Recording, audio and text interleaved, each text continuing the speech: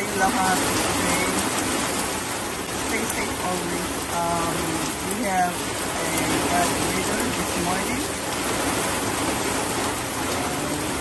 Uh,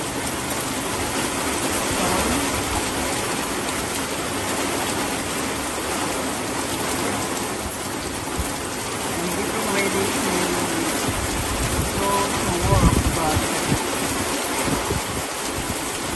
have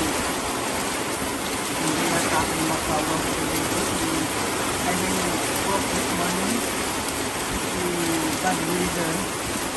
Lakas ng ulan tapos ang lakas ng hangin.